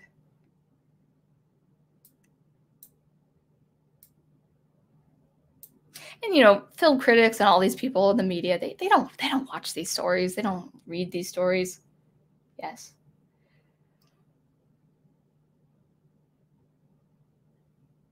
Honestly typing in the chat makes me feel like i can't write at all. Oh i love the chat. Like i like that it has a 200 character limit so I, I have to really think especially with the book studies like i have to form my sentences just right. I'm bad about that on twitter. I can spend like two minutes on twitter or more just to make sure it's grammatically correct correct. And I, I, I hope you guys don't notice like that when I'm on Twitter, if something isn't grammatically correct, like even if it's sitting there five minutes, I will delete that tweet if there's no response to it. And I'll, I'll, I'll change it. I can't, I can't stand that you can't edit your tweets. I did watch Scoob review said it was not true Scooby Doo movie. It was only a Scooby Doo movie. Oh, that's just too bad. Oh man, you know what was so uncanny? It's so uncanny. Is like they, they were mentioning things like Netflix and The Rock. It's like, why are they talking about concurrent things? It just it didn't feel right. They, they shouldn't have had their outfits um, unless it was it was true to the setting. Nice. Ah, oh, even though my voice is shot, this is this is one for one for uh, the archives. Let's get down to business. I can't sing in tune right now. To defeat the Huns, did they send me daughters when I asked for sons? You're the saddest, I think it's Bunch, I ever met. But you can bet before we're through, somehow I'll make a man out of you. It's good stuff. Yes, I agree. Yeah, Owen, I gotta turn in soon too. I have to write. All right. Do do do do do do. It's Muhammad that's keeping the chat chat active. Mystery boxes without something in them is bad enough. That's the thing is they should have. Oh, uh, I mean, I don't I don't like what they did to any of the characters at all, but the fact that it was just not even a good story just wasn't thought through. Having some cruddy thing in them is another thing, but having having nothing and then giving something cruddy to avoid. I say the other word too, but I'm not going to say it online. Um, uh, to avoid outrage is something else. They,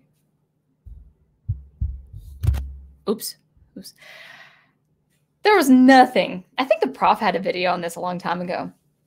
There was nothing that Rise of Skywalker before it came out. There was nothing that movie could do to save that trilogy. It was gone. It was gone.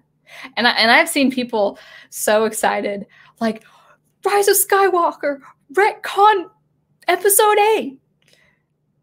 I was like, why are you celebrating this? You're saying the final act just redid the middle act. And by the way, the middle act is probably the most important act. Of course, all the acts are important, but that's that's the meat of the the three act structure. Anyway, Scoob starts with them meeting his kids, and then there's a montage with. Oh, okay. Maybe I missed that. Alrighty, because yeah, Daphne looked really young. I mean, they all looked young, besides Shaggy and Scooby. So, um, all right, that that makes sense. Thank you, Big Al. I guess it meant themes uh, for ideas, which is what I meant by leitmotifs. Yeah, of characters, but ideas. Actually, leitmotif is like a musical gesture for a character, a place, or an idea. It, it's easy to confuse the two for sure. Oh, interesting. JJ gave a TED, TED talk where he explained that uh, what is in the mystery box doesn't matter at all. That's nihilism. How is that not nihilism? Oh, I, I said that before I even read that. You have no subject, no plot, no meaning, no reason for action. Yeah, I, I, as much flack as jo- uh, Johnson did, and he didn't help himself conducting himself publicly in the way he did on Twitter. Um, but and I'm not I'm not about vengeance and re- being resentful. I'm I'm about peace and I'm about forgiveness and love. Um, so I don't want to kind of harangue on JJ, but like people people bemoan about episode eight like it ruined it. Episode eight didn't start it. The first 18 minutes of Force Awake of Force Awakens was um uh, very solid. Had a lot of potential and then that was it.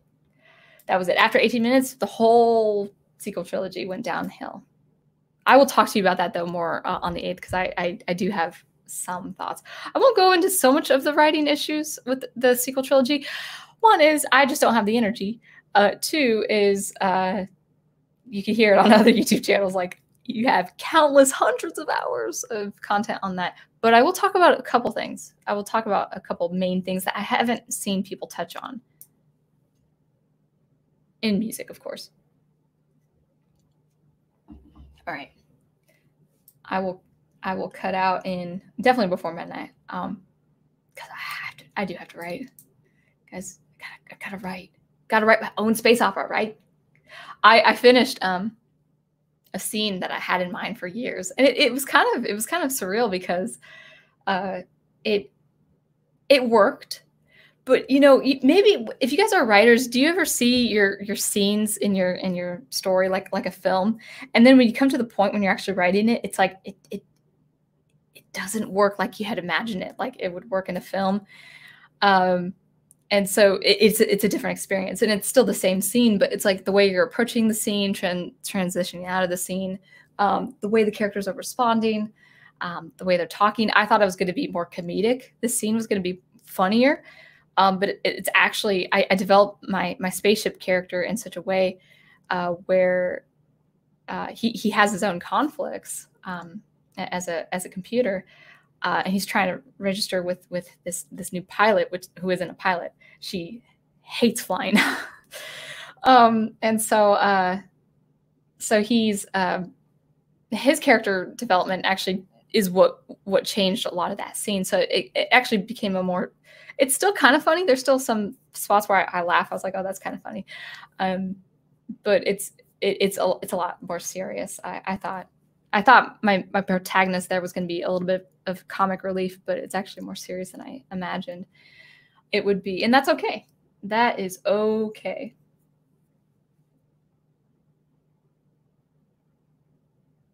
Oh, sounds brutal, Muhammad. I don't know if I want to post that.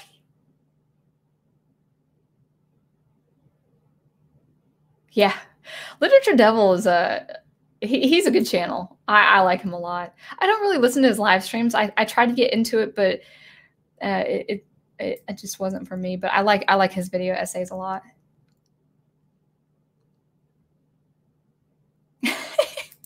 no sweat, Muhammad. I was wondering.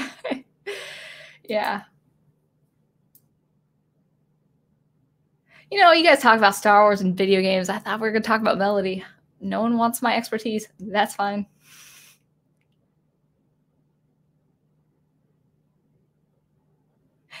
Yeah, actually, yeah, that that is true, Mohammed. Um, I get caught up in these live streams as well.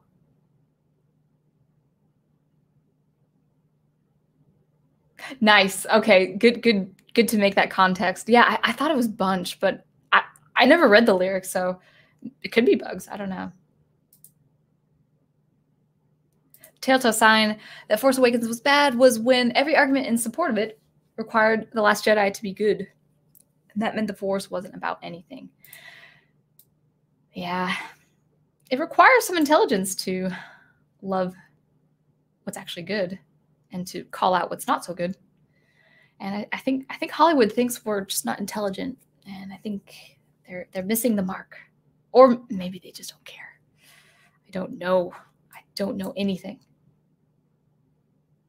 Okay, I'm, I'm caught up with chat. Oh, oh, let's let's okay. Uh, Dr. Y says the only thing I've come to like about the sequel trilogy is the design aspect. Is one of the few things they have good. I mean, I thought knowing, uh, yeah, visuals, yeah, visuals are good. I thought knowing um, what I know about Jedi, Last Jedi now, I, I, I did not like it. I did not like, I didn't care for the film, but I thought the sound design was going to be poorer than I imagined. No, it's still great. It's still phenomenal sound design. Bummer. My face is getting red and my hair's sticking to my face, so we'll uh, probably call it. Okay, cool. Okay, so I'm I'm I'm uh I'm caught up in chat, guys. So that that's good. So if you have no further comments, which I will not entertain, uh, yeah, thank you for uh, let, us plug some stuff. Let's thank you for watching. Let's uh, plug some stuff. I'm still under the two hour mark. I'm so excited. Uh, so live commentary on my channel every Monday nights we're probably I have to commute now, so we're probably looking at uh 9:30, 9:45, 10. Just kind of be on the lookout between 9:30 and 10. Uh, sometimes I just want to relax and refocus after teaching and, and driving. Um, so be on the lookout for live commentary every Monday, every Monday nights. No earlier than 9:30, but no later. Starts no later than 10. Office hours every Tuesday, except not this coming Tuesday, not tomorrow. Um, the professor, uh, Professor Geek, you all know him.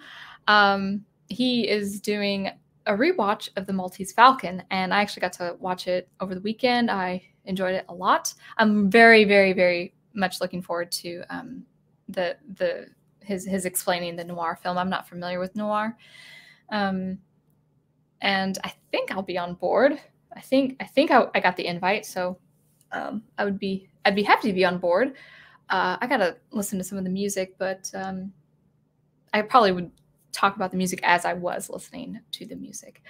Um, it's it's it's and it's nice music. Uh, it's I, I really did like uh, the music. The composer I, I can't remember his name.